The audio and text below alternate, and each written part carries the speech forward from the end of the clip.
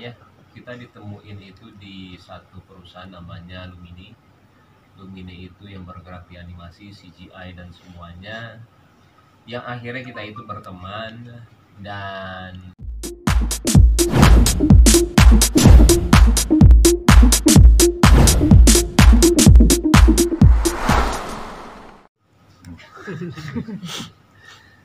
Eh, terima kasih Eh, terima kasih sebelumnya udah datang. Saya di sini eh, bersama Ricky.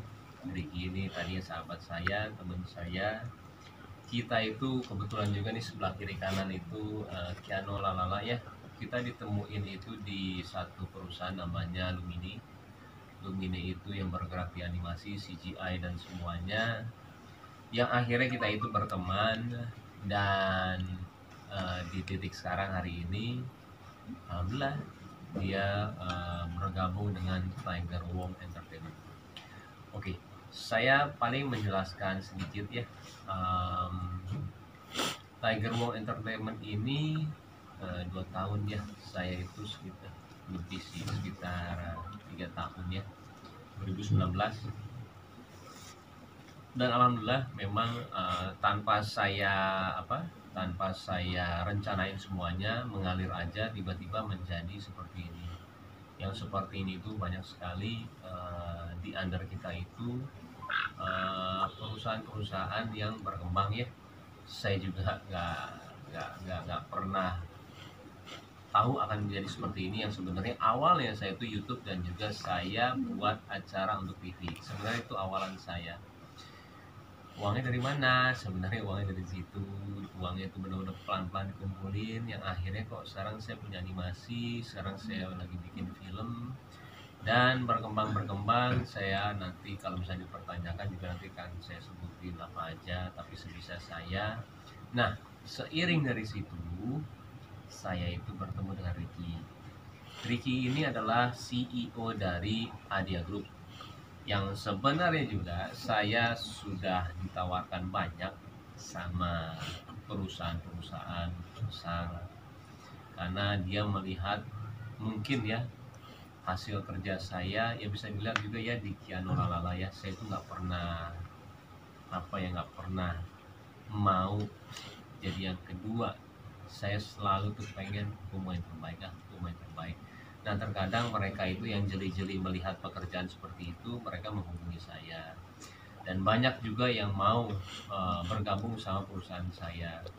Tapi kembali saya itu ketika mereka bergabung itu hmm, listriknya itu apa? Benefitnya apa? Chemistry-nya gimana? Apakah hanya sekedar uang? Apakah hanya sekedar em, keren-kerenan? Nah kalau sama Ricky ini beda dia itu kayak saya kekurangan saya misalkan saya boleh cerita ya saya kekurangan saya saya tuh restoran 13 tahun 2007 sampai 2020 dan nggak berhasilnya itu paling banyak. Saya cuma berhasil dua kali dari sekitar puluhan saya bikin restoran. Makanya saya digital ini bukan suatu kebetulan saya punya perusahaan kok berkembangnya cepat karena belajarnya sudah lama. So itu bangkrutnya banyak banget. Nah yang paling mentereng dari saya itu adalah saya nggak bisa keuangan saya nggak bisa. Nah yang sebelah saya ini Ricky itu memang bidangnya di situ. Tapi ternyata ketika saya tahu dia banyak sekali perusahaan dia ya yang di belakang itu dan saya bilang ini orang hebat ya kok nggak kelihatan hebat ya? Biasa aja bawaannya juga nggak pernah memperlihatkan dia itu siapa. Tapi kok hebat ya orang-orang waktu itu juga ada partner saya datang ke tempat dia untuk apa eh, berapa tahunnya Adia Group itu berapa tahun kemarin bro? 2010 berapa tahunnya Adia Group ya yang Andi datang? 12 12 tahunnya Adia Group. Yang dia bilang Im si Ricky itu bos manggil dia bos loh yang bener loh gue bilang. Orangnya begitu aja ya gue bilang. Iya. Nah di situ saya bilang ini orang tidak sombong. Dan akhirnya eh, sebenarnya kata-kata ini eh, keluar dari dia untuk Im. Pak saya paling seneng bahasa dia sih Im. Gue masuk dulu ya. Tapi kata dia kalau gue nggak ada benefitnya di lu nggak usah kata dia. Karena gue di sini itu di lu memang ujungnya juga pasti ada bisnis tapi bukan itu. Dia lebih suka arah kerja saya sama dengan hobi dia. Dia itu orang uh, kreatif banget di samping dia ini ya di samping dia orang tua dia orang kreatif dan uh, dia suka banget. Kalau nggak ada nggak usah ada dia. Jadi dari jawaban dia itu aja saya udah tahu ini orang tidak wait wait wait wait ini orang kayaknya lebih ke yuk bangun sama-sama yuk. Nah dari situ kita ada omongan dan hari inilah kita memutuskan untuk ini.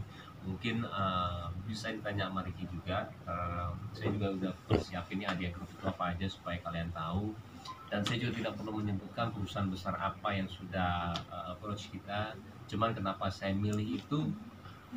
Jawabannya di situ semuanya. Lebih ke arah memang dia bisa bimbing saya untuk ke arah yang saya mau. Mungkin dari Adia Group itu oh, bisa Ricky bisa ah alasan dia untuk ini saya apa? Soft betul